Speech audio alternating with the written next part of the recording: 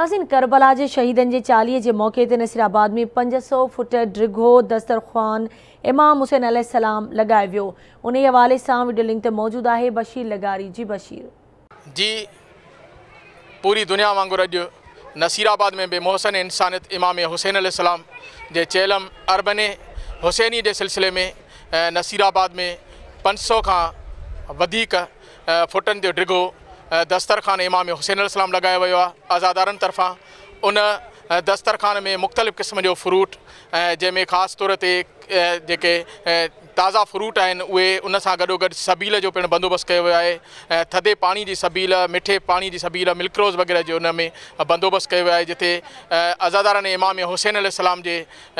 इंतज़ारु आहे त जुलूस जेॾी महिल पहुचंदो त उन्हनि अज़ादारनि इमाम हुसैन इलाम जेको अरबेन जो जेको जुलूस निकितल आहे उन जुलूस में उन्हनि मोमननि में उहो न्याज़ तक़सीम कयो वेंदो ऐं उन सां गॾो गॾु अव्हांखे ॿुधायां त अॼु नसीराबाद जे मर्कज़ी इमाम बारगा आज़ाखान ऐं ज़हरा ते चयल में इमामु हुसैनु सलाम जी मर्कज़ी अज़ा उते बर्पा करे उतां मर्कज़ी मातमी जुलूस बरामद कयो वियो आहे जेको पंहिंजे मुक मुक़ररु रस्तनि तां थींदो ऐं पंहिंजे रवां दवा है जेको तक़रीबन राति जो ॾह बजे इख़्ताम पज़ीर थींदो अवांखे एतिरो ॿुधायां त नसीराबाद जे मेन चौंक ते पिणु शौदा करबला इमाम हुसैन इलाही सलाम जे यादि में हिकु मजलिस अज़ा मुनक़िद कई वई जंहिं मजलिस अज़ाह खे मुख़्तलिफ़ आलमनि ऐं ज़ाकिरनि ख़िताबु कंदे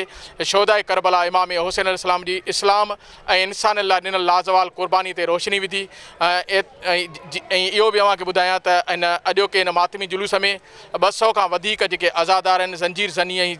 के मातम करण से करे ज़ख़्मी थी पिया